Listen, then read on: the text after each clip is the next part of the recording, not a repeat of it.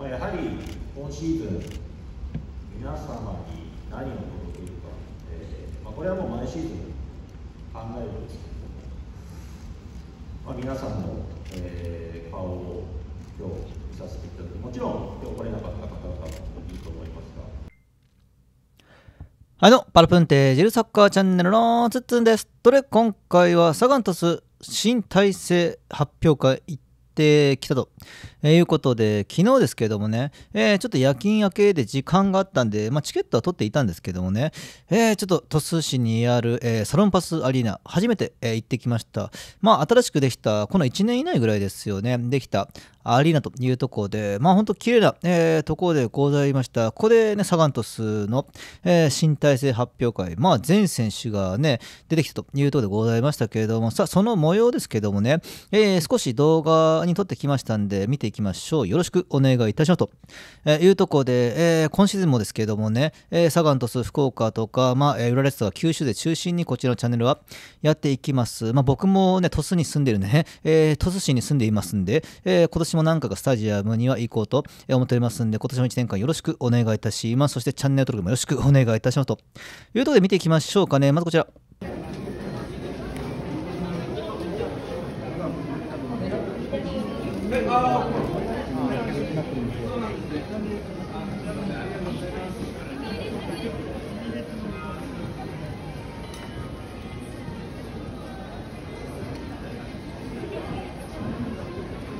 まあ、これがサロンパスアリーナというところで、まあ、いつも僕がね、こう会場に入る、スタジアムに入るときが一番こうね、えーテンションが上がるっていう話はしましたけどもね、このね、正面に見えるユニフォームですね、新ユニフォーム、これは確か昨シーズン最終戦でね、発表があったものじゃないか、こう、鳥栖のスタジアムにバーッとエキスタにバーッとピッチに登場したね、新ユニフォームと同じものとは、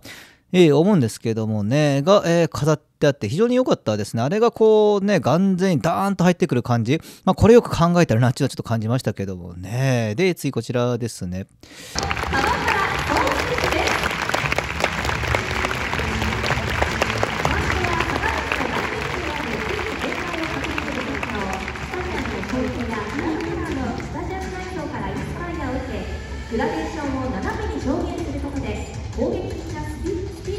表現しています応戦キックは長編みメッシで試合中の選手の熱気を冷ますメッシで快適に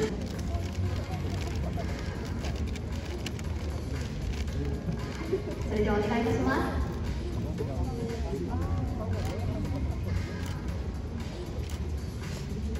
これが、えーもう始まりました。すぐね、この後始まったのが7時半かな、7時半から始まって、最初こうね、えー社長の挨拶等がありまして、で、最初ユニフォームですね。えーユニフォームの発表、新ユニフォームを、まあ実際選手が来て登場というところで、えーホームユニフォームに関しては河原選手ですね。で、アウェーユニフォームに関しては樺山選手、そしてゴールキーパーはパギさん、そして岡本さんがというところで、岡本さんやっぱでかいですね、改めてこうやって、えー見てみるとですけどもね、本当にパギさん残留は、ね、トス市民、トスサポーターにとって非常に良かったんじゃないかというところこで、本当ね、メディアの方も多くいていらっしゃってですけどもね、まあ、こんな感じであるんだと。やっぱり僕はですけどもね、こうサッカー通していろんな体験、経験がしたというところで、本当だから福岡とかもね、行けたら行きたかったんですけども、ちょっと僕も時間の都合で、まあ、福岡はそもそもアビスパさんがですけどもね、あの、一般公開されていたかっていうのは分かんないですけどね、こんな感じでね。ただまあ、行けたら行きたいなと思っていたんですけども、ちょっと僕が仕事でその日行けなかったんで、まあ、えー今回、鳥栖、どっちか行きたい、どっちも行きたいけれども、どっちか行けたらなという感じで思っていたんですけどもね、えー、鳥栖の方へ行くことできましたんで、まあ、非常に良かったです。まあ、こんな感じでやっていくんだなというところで、まあ、やっぱりね、一番、一番っていうか、このシーズン開幕前、期待が高まる、えー時でございます。やっぱシーズン始まったら喜怒哀楽、どうしてもね、出てしまうんですけどもね、ただこう、ね、シーズン、あ、いや今からシーズンが始まるんだなっていう感じもしていて、まあ、僕の周りのこう、鳥栖のサポーター、えー市民の方々もですけどもね、やっぱこう、ニコニコしながらね、えー見守っておられましたけれどもね、で、次こちらですね。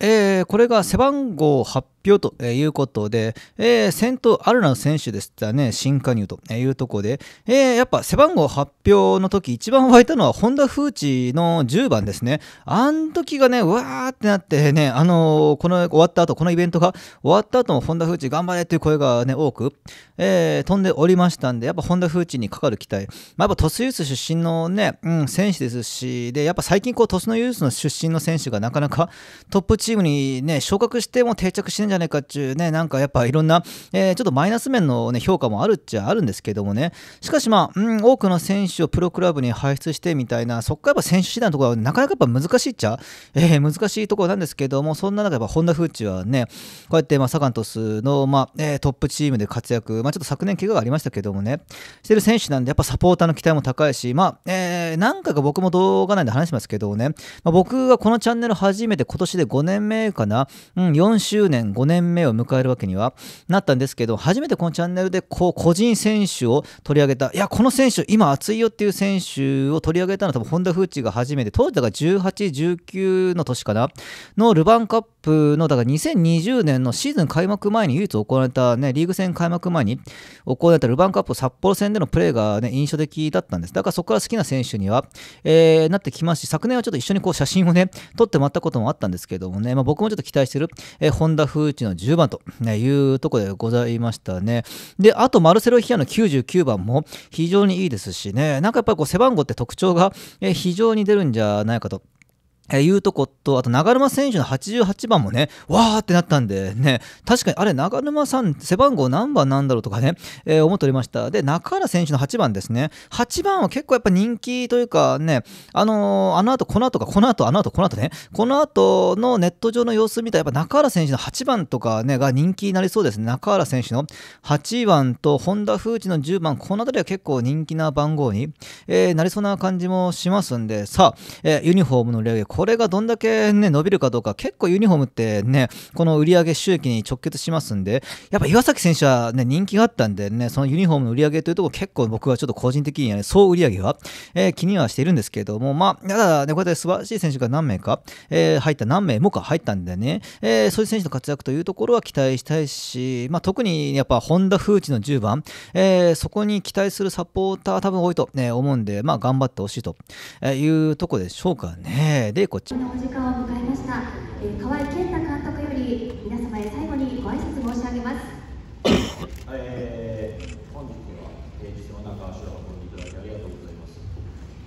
えー、2024シーズン、えーまあ、今日からトレーニングを、えー、開始したんですけれどもやはり我々が、えー、ファンサポーターザマルトスに関わる皆さんに対して、えー、何を届けるか喜びと熱狂かなと、えー、今思いました、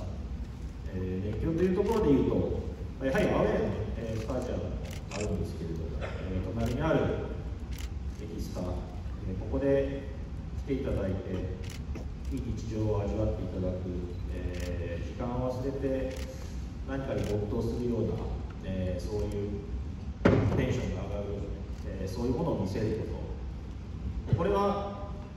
あの我々のプレーで、えー、示さなければいけないと思いますただもう一つやはりその先にある喜び、えー、喜んでもらうというところは、まあ、今日今、えーまあ、席に座って皆さんを見て本当にこれが必要だなと思いました、まあ、喜ぶ全員が喜ぶじゃ何か、ね、やはり勝利だと思います。あの熱狂というところはあいい試合したね興奮したよ。いろいろあると思います、まあ、ただやはり全員を納得させて、えー、喜んで帰ってもらうやはりそういうものをもう一つ、えー、今シーズンはこだわっていきたいと思いますし、まあ、この、まあ、喜ぶ熱狂この両輪をね、えー、今シーズン数多く皆さんに皆様にね届けられるようになればおそらく皆様が一番望んでいるね J1 のタイトルここに届くと思います、まあ、本当にあの皆様の力が必要ですし、えー、我々は皆様にとって唯一無二の存在になりたいと思っております、まあ、今年のスローガンにもありましたように、えーシーン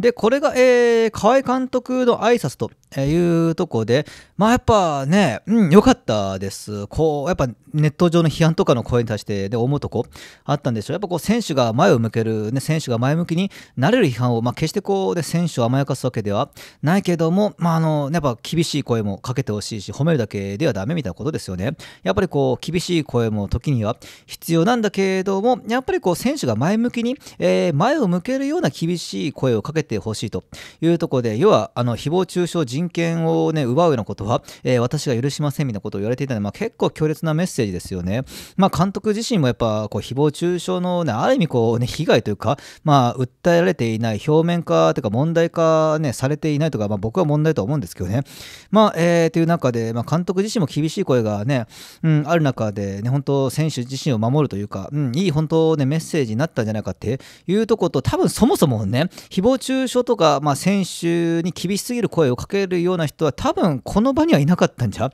ないかというところ、な個人的まあいるかもしれませんけどね。しかしまあ、うん、大体ね、うん、やっぱここにいる、この場900人ぐらいとかいたんですかね。いる方々はやっぱこう前向きにね、トスを考えている方々が特に多かったと思いますんで、まあここにいる方いない方、やっぱりこう監督のね、メッセージというのはちょっと考えものかなって、うん、ちょっとね、僕も思ったところあったんで、本当、まあ、え ー批判も大事、批判も大事なんだけれども、まあ、あの選手が前向きになれるような批判をね、どうどうか僕も、えお願いをしたいというところでございますね。まあ、本当、河合監督のメッセージはね、非常に強かったですし、で、今年のね、このキャッチフレーズというかが、真でしたね。進む方の芯と。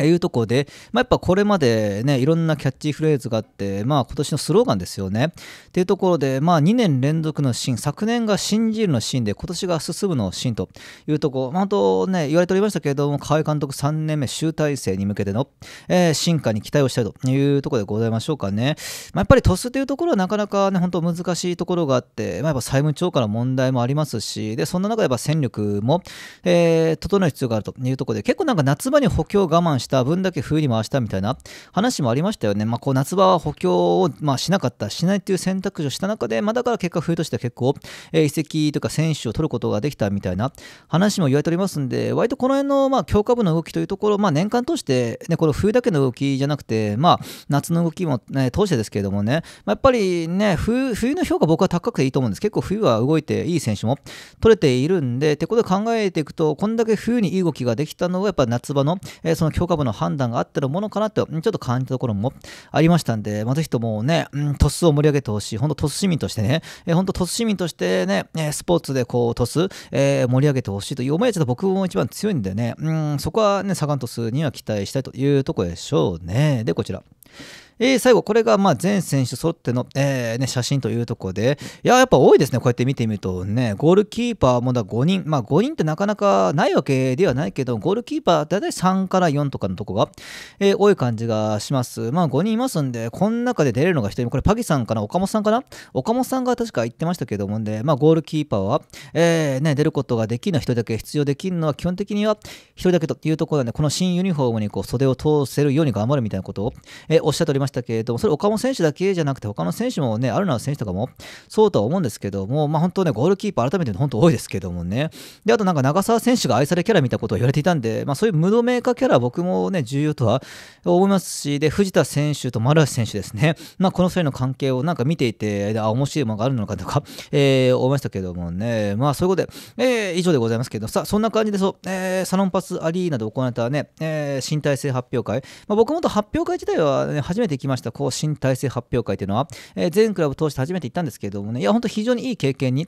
なりました。まあ選手に向けてこうサポーターもね、まあニコニコしながら見守るみたいな、やっぱ選手はこう鳥栖市民にとっての、まあ子供というか孫というかね、子供って言い方があれかもしれませんけれども、こう成長を見守りたいね、うん、人間というか、ね、鳥栖市民にとって僕はそっちがなんか強いな感じ感じがしていて、まあさっきも言った時にはこうやっぱ厳しい声もね、必要なんだけれど、こう鳥栖でね、育ってほしい。まあま鳥栖で育ってタイトルにね、獲得すれば一番ね、貢献してくれば一番いいのかもしれませんけれどもね、やっぱまずは、ね、大事に成長、タイトルとかも大事だけれどもね、やっぱ鳥栖市民の方々はやっぱ成長とかね、うん、そっちを見ていきたいのかな、この若い選手の活躍とかを、えー見ていきたい方々が多いのかなって、なんかね、昨日の周りの反応とか、えー見ていて思ったんで、まあ、どんな形である僕はいいと思うんです。まあ、これ絶対タイトルとか絶対勝利を、え追い求めるサポーターがいてもいいと思います。その反面ね、もちろん勝利とかも大事だけれども、選手の笑顔とか、えー、選手の活躍、成長、本当でそっちに期待したいという方々多分多くいると思うんですよね。まあ、それは僕はいろんなサッカーの応援の形、スタイルがあっていいと思いますんで、まあ、でも、まあ、共通して言えるのはやっぱりね、こうサポーター、鳥栖の市民の方々がですけどね、まあ、笑顔になる、まあ、少しでも前向きになれる。これ、河合監督も言われておりましたよね。なんかそういうね、やっぱ鳥栖の市民の方々が、サポーターが喜ぶ、まあそういうね、うん、クラブにしていきたいとか、なんかそういう結果を出していきたいみたいな、なんかこう前向きに、えー、サッカーを通してね、その人々が前向きになれるっていうね、うん、方にしていきたいみたいなことなんか言われてたんでね、ああ、なるほどなと思いました。本当ね、河合監督、それはもう監督の、え腕次第であり、その選手が期待に応えるかどうかというところでございましょうかね。はい。というわけです。以上、ブラムデージェルサッカーチャンネルのつつんでした。よかったらチャンネル登録します。